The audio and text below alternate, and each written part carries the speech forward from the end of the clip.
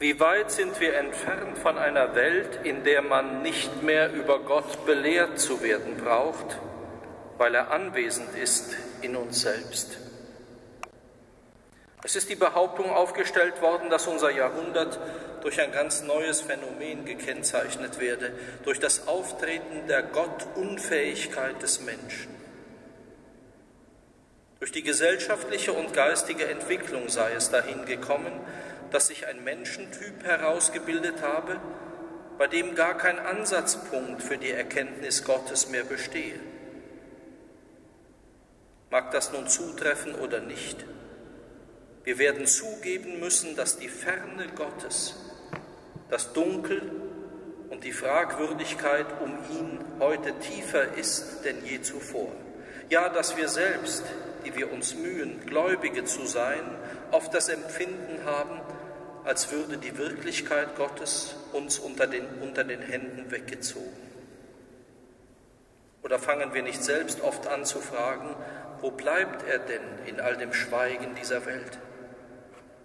Haben wir nicht selbst oft das Gefühl, dass wir am Ende allen Nachdenkens nur Worte in den Händen haben, während die Wirklichkeit Gottes ferner ist als je zuvor?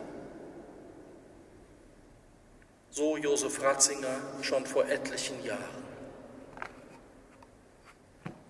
Besser geworden, liebe Schwestern und Brüder, ist das nicht. Eher im Gegenteil.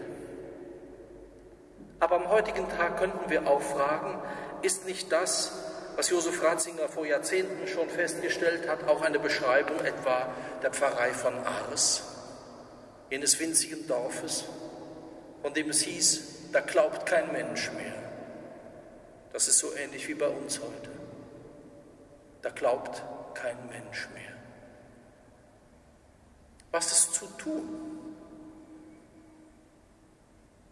Es gibt dafür unterschiedliche Rezepte. Wir können im Moment, das kann man in, auf allen offiziellen Seiten der Bistümer lesen, dass es interessante Unternehmungen gibt, gerade der deutschen Kirche.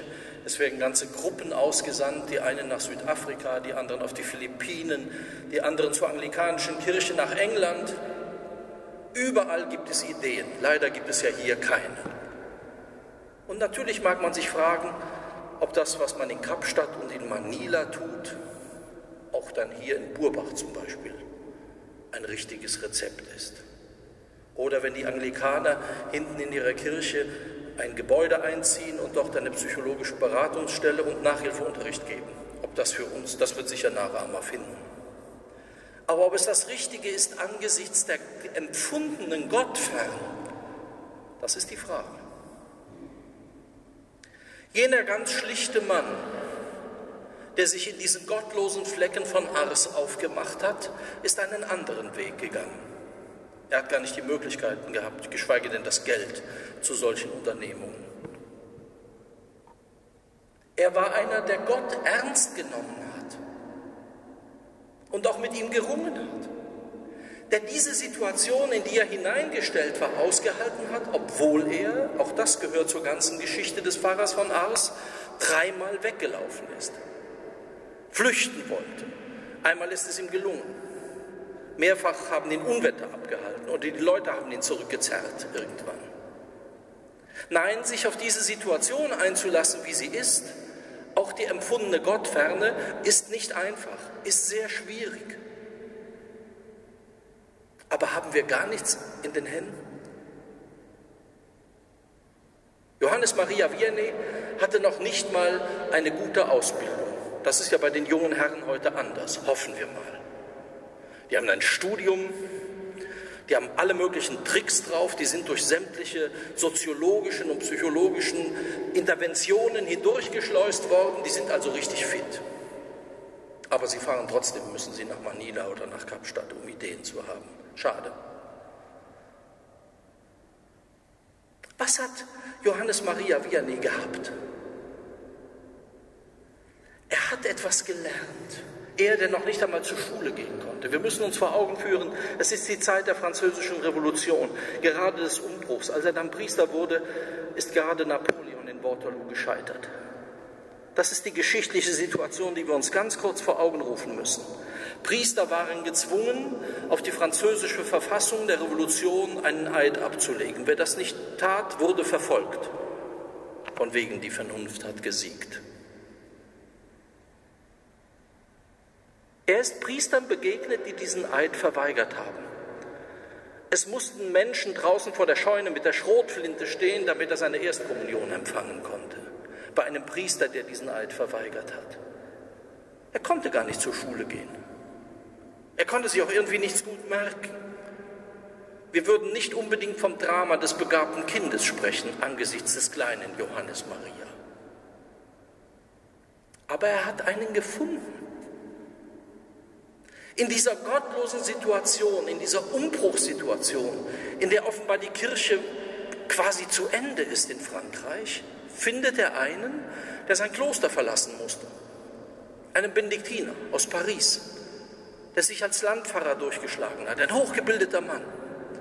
Der erkennt in diesem Jungen, dass etwas in ihm steckt, das jenseits ist von intellektueller Bildung, dass er ein Gott naher ist, dass er Potenzial hat.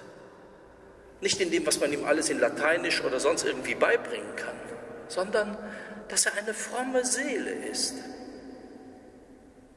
Und dieser Mann fördert ihn, begleitet ihn gegen alle Widerstände bis zum Priestertum und nimmt ihn dann als Kaplan zu sich, weil ihn keiner haben will.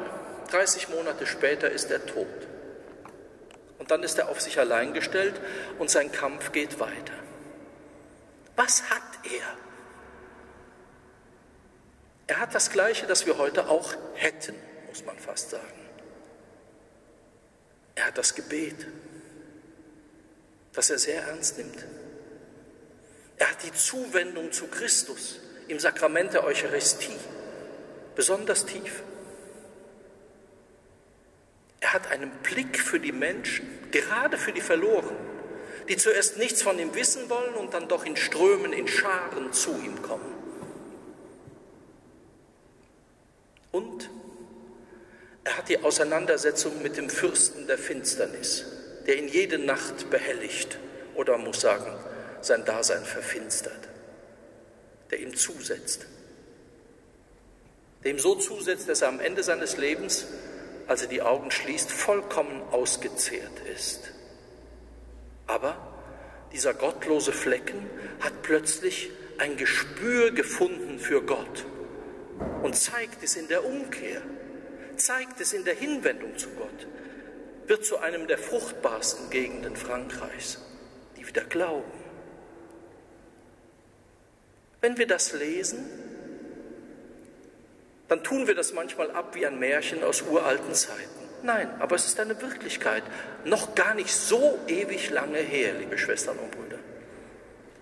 Und das sollte heute nicht möglich sein?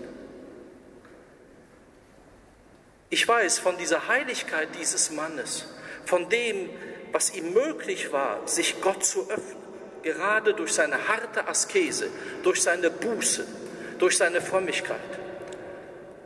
Davon sind wir Priester oder ich persönlich leider Lichtjahre entfernt. Aber wäre es nicht ein erster Schritt, dass wir anfangen, unter der beschriebenen Situation, unter dieser Gottlosigkeit zu leiden? Wirklich zu leiden, dass es weh tut, dass wir dieses Leiden auf uns nehmen und dass wir es nicht schönreden, nicht verzieren mit irgendwelchen blödsinnigen Ideen aus anderen Ländern, die viel Geld kosten. Dass wir anfangen, uns die Wirklichkeit nicht länger schön zu reden, sondern sie akzeptieren, wie sie ist. Gottlosigkeit, die uns umgibt, bis in die Kirche hinein. Worüber reden wir? Wer glaubt? Und wer glaubt was? Der Aufbau, liebe Schwestern und Brüder, beginnt mit jedem Leiden, für das der Pfarrer von Ars jahrelang steht. Er braucht Jahre, wenn nicht Jahrzehnte, um überhaupt irgendeinen kleinen Erfolg zu sehen, irgendeine kleine Saat, die aufgeht. Das in Verbindung mit Buße und Gebet wäre ein Beginn. Ein Beginn, der heute möglich ist, heute wie damals.